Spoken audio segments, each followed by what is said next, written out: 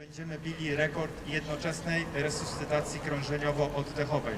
To znaczy, każda osoba, która będzie zainteresowana, y, będzie mogła podejść, poćwiczyć sobie na przygotowanych specjalnie do tego celu fantomach, pod y, okiem instruktorów, pod okiem ratowników, jak powinna wyglądać resuscytacja krążeniowo-oddechowa u dzieci, u y, niemowląt, y, u osób y, dorosłych. Jędrzej Smokowski, administrator bezpieczeństwa informacji, informatyk Miejskiego Ośrodka Pomocy Rodzinie, a prywatnie strażak ratownik Ochotniczej Straży Pożarnej w Raciążku.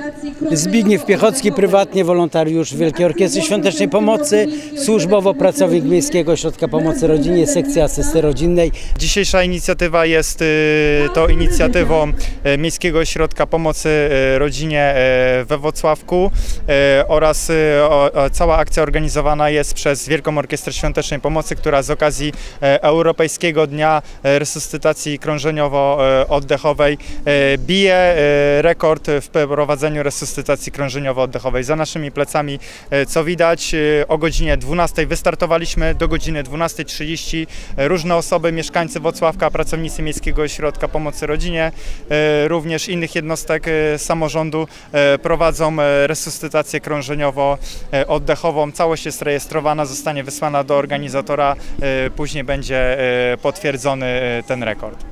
Zobaczymy, ile ten rekord wyniesie w tym roku. W każdym razie Wielka Orkiestra Świątecznej Pomocy próbuje pobić ten rekord po raz piąty. W ubiegłym roku był duży sukces, ac- aczkolwiek rekord nie został osiągnięty. E, Resuscytacji udzielało kilkaset tysięcy osób.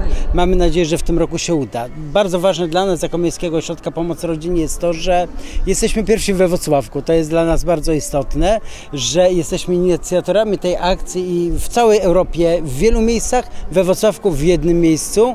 Dzięki uprzejmości pana Jarosława Samojłowicza, szefa marketingu Centrum Handlowego Wzorcownia, udało nam się właśnie tutaj zgromadzić Widać nie tylko reagujemy, tak, ale także działamy prewencyjnie. Widać za naszymi e, plecami e, jest zainteresowanie. E, przed samym rekordem wykonaliśmy krótki instruktaż, co robić w sytuacjach, kiedy będzie zagrożenie życia, kiedy najedziemy na wypadek, kiedy będziemy widzieli osobę poszkodowaną, jak reagować, jak odpowiednio się zachować. Przede wszystkim, co najważniejsze, żeby nie przechodzić e, obojętnie. E, Mówię to też z własnego doświadczenia, nie jako pracownik Miejskiego Ośrodka Pomocy Rodzinie, ale prywatnie jako strażak ratownik e, Ochotniczej Straży Pożarnej w Raciążku, gdzie praktycznie e, częściej spotykam się e, z takimi sytuacjami, e, ale e, może to spotkać e, każdego z nas. E, Kiedy idąc na spacerze zobaczymy osobę, która e, dozna omdlenia, zasłabnięcia, czy najedziemy na wypadek e, drogowy, musimy wiedzieć jak się zachować, e, jakie kroki podjąć, jakie środki,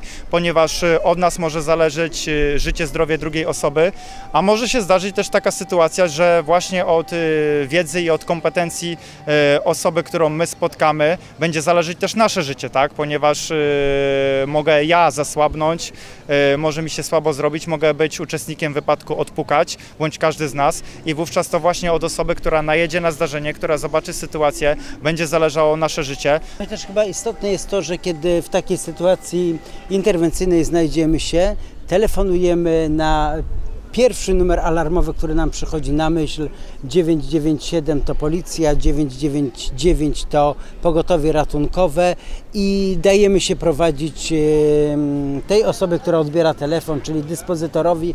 On od nas wyciągnie w cudzysłowie wszystkie niezbędne informacje. Nie rozłączajmy się, póki dyspozytor nie powie dziękuję, może się pan rozłączyć. Bądź na numer alarmowy 112, Bądź. tak, który jest numerem Wojewódzkiego Centrum Powiadamiania Ratunkowego. Wówczas e, operator numeru 112 zadysponuje na miejsce zdarzenia e, odpowiednie służby. Udzielajmy informacji, co się stało, gdzie jesteśmy, e, jak najwięcej informacji, ile osób jest poszkodowanych e, i informacje szczegółowe, które umożliwią dojazd służbom na miejsce zdarzenia, czyli na przykład za dużym żółtym budynkiem w prawo, ulica taka i taka.